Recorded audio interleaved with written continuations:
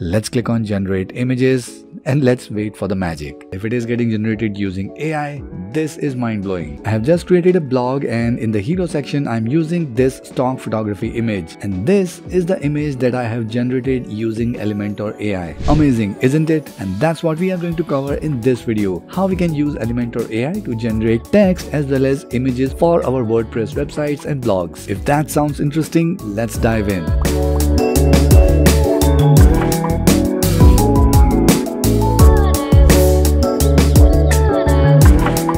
So let's take an example of this sample travel blog that we are building using Elementor and let's see how we can use the Elementor AI to generate some images as well as the text for this blog. So before we begin, we only have the Elementor free version right now. And if we go in the settings for Elementor under features, let's go ahead and enable all. Along with that, let's go ahead and install the developer edition as well. So if there is any update in the developer version for AI, we will get that as well. All right. So now we have an update for the free version here. Let's update this. All right. So now we are ready and we have the Elementor developer edition as well. And let's come back to the home page of this blog. So first up, let's try to rewrite this heading here using our AI. So let's click on this. On the title, we have a new option added here that is write with AI. So let's try this. But before we do that, we need to link this website to our Elementor account. And this is actually the free account with Elementor that you can create. So let's go ahead and connect this site. So I'll click on connect from here. And I already have an account and it is already logged in. So that's why I directly see this link screen. So let's go ahead and click on connect. So let's click on approve for the terms and condition and let's get started. Right now it's just taking the text that we have written in the title here, but we want a new heading. So we will go for a new prompt here and we will give it a simple prompt. So let's try this heading for a travel blog with just two to three words. Let's click on generate text. It says roaming with purpose. I'm sure we can use that. So let's click on this use text button. And now we have changed our heading here. And maybe in the style, we can play around with color and typography so maybe we can make it a little big and transform. Maybe we can use uppercase. And now for this subheading, we again go back to content. We again click on write with AI and we will use a new prompt. So this is our new prompt to get a new tagline or a little bit of description for this travel blog. So let's click on generate text and see what it gives. All right. So here we have the blog description or a tagline. So we can definitely use that as well. So let's click on use text. All right. So we are done with the heading part. If we scroll down a little bit, we have some introduction. So maybe we can play around with that as well. So let's click on this. And once again, we will click on write with AI. Let's give it a new prompt. So we are trying to generate a two paragraph text which will be an about section for the travel blog. And this travel blog is of Tom and Anna. So let's see what we get here. Let's click on generate text. So here we have the content, but it's a little bit long for the homepage. So what we can do is use an option here. It says make it shorter. So let's click on that. All right. So here we have the about us section. Let's use this text. So this is how we can have an AI generated content on our website. So it's definitely better than using some sample text or lorem ipsum. So if you're a designer and building this website or a blog for your client, you can definitely use this write with AI to generate some good quality text instead of using the sample lorem ipsum text. So it's definitely going to give a feeling of a live website instead of a mockup. Alright, so now comes the fun part. We are going to generate images using Elementor AI. Let's see how it goes. So we come back here in our hero section and in the style we can see we have a background image here.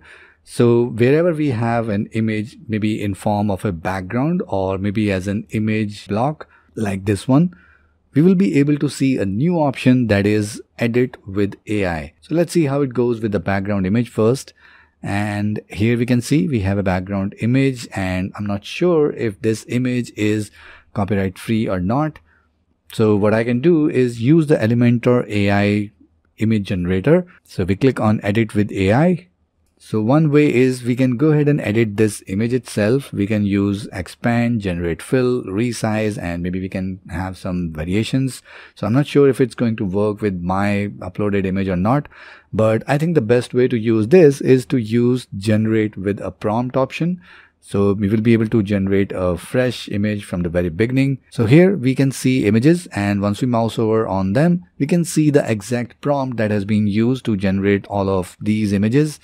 And this is pretty mind blowing. So let's try with some simple prompt and see what we can get. Alright, so we have given a simple text prompt that is a couple sitting in mountains and watching sunset. So I wish I'll be able to create an image which will look something like this where we have a couple sitting in mountains and maybe watching a valley or sunset. So let's see how it goes. But before we proceed, we need to select image type. What type of image we want to generate. We have an option for photographic, background, digital art, handmade 3D. So for this one, I think photographic will be good enough. Once again, you can use all these images right away in your website. And best part is you get the exact prompt that has been used to generate these images. So maybe you can use the same prompt and you can edit that to generate your own version. And for the style, I think we can use landscape and for the aspect ratio, we will choose landscape 16 by 9. Let's click on generate images and let's wait for the magic. Let's see how it goes. This is mind blowing. Now, I'm not sure if it is really an AI generated image or if it is just pulling some images from some stock photography website. But if it is getting generated from AI, this is mind blowing. But for this example, I think I'll be able to use this image. But instead of directly using it, let's play around a bit more. Let's click on edit and see what else we can do with it. So now we are back with this edit with AI option and here we can expand, we can generate fill, resize and do some variations. So let's first do expand image. We want a long horizontal image. So here we can choose what part of the original image we want. So maybe we can shrink it down a little bit. We will leave the prompt as it is and then we will click on generate once again. Right now it's asking us to upgrade. So I think this option is not available in the free version. So if I click here for the upgrade, it's going to take us to the Elementor AI, which is right now in the beta version.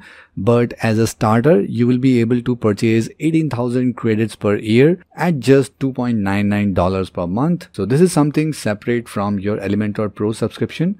You need to add credits in order to generate these images and text. So I have just purchased the credits for the Elementor AI. So now we can explore the full potential of this. And now maybe we can refresh this page. So now we should have the full access of Elementor AI.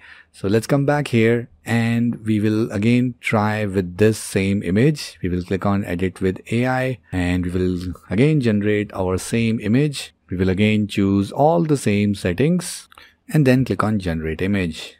Alright, so we have our images generated here and I think I'll be able to use this one. So let's go ahead and click on use this image first so that you don't lose it. And now we come back here, edit with AI, and now we can play around with this. So first we are going to test expand images. So we are going to reduce this size. We will leave it as it is and let's click on generate. Let's see what shows up. So I'm expecting that it's going to use the same image and going to fill the rest of the area so let's see how it goes. And that's exactly what happened. It generated four different variations of the same image and added some different elements here and there on both sides. So again, I'm going to use this image. Let's click on this and now it's looking perfect in this container. So maybe we can play around with the background overlay and let's come back here and do some more editing in this. So now let's try generate fill let's give a generate fill area. Let's try some big area here. Now let's see if that works. Let's click on generate. All right looks like we have added few things here but it looks broken. Let me just zoom in a little bit. So we have some hot air balloons but but it's broken. And it tried to generate something here but it missed. And this one again half filled so it maybe it requires a little bit of more area to generate few things. So this time I'll try to add some more area. And let's see if this can generate some good hot air balloons. Once again it tried to add few hot air balloons but it's not usable. So maybe just because it's in the very early phase so this generate fill is not perfect right now. But whatever it generated here using AI it's mind-blowing. So maybe we can close this and we will stick with this image only. And let's see how it works for some portraits. So instead of this image let's see if we can generate a image for a couple. So let's edit with AI and generate it with a prompt. So we'll give a simple text travel couple close up posing in front of a lake. So I think this is how I can describe this image. And in the image type we will select photographic again and style we will choose portrait. And for the image this time we can go maybe square one by one. Let's see how it goes. Or maybe portrait three by four. I think that will be much better. So let's see what it generates. And once again this is mind-blowing. So I think I can use any one of these two because they are looking directly in the camera. So I think this is much more suitable for the home page so maybe let's click on this use image and let's try to edit this again. This looks perfect. And let's edit with AI. So this time let's try some variations. So in this we have given a simple prompt like make the girl hair shorter. Above this we have a slider. We can use this to make the new image close to our prompt or close to our reference image. So we will keep this in the middle because we want the same image but we also want to do the variation with our prompt. So let's just play around with this and see how it works. Once again, we will choose the same photographic image, style as portrait, portrait 3x4. Regenerate again. I think it worked a little bit for this one, but let's try if we slide it closer to the prompt and using the same prompt and let's generate again and see how it works. So somehow the regenerated image are not for a travel blog and I'm not sure why the man got replaced by uh, this lady here. So once again, the editing part with AI is not perfect. I think expanding image definitely worked really well, but I think generate fill and variation still need some work to be done. But above all, these images that are being generated using the prompts, they are mind blowing but it definitely needs some work on editing the image using AI. So this is how we can use Elementor AI to generate some amazing text and images for our WordPress websites and blogs. Now this is just in the very beginning stage. I'm sure in the future releases we can see some major updates. But whatever we have right now, it's pretty amazing. Let me know in the comment section below what are your views about Elementor AI and how you're going to use that on your WordPress website. And if you like this video, make sure you watch this video as well where we covered how you can use Elementor Elementor to create some amazing looking Elementor header effects like sticky header or transparent one and much more. And for more WordPress videos like this, make sure you subscribe to this channel. So that's it for this one and I'll see you in the next video.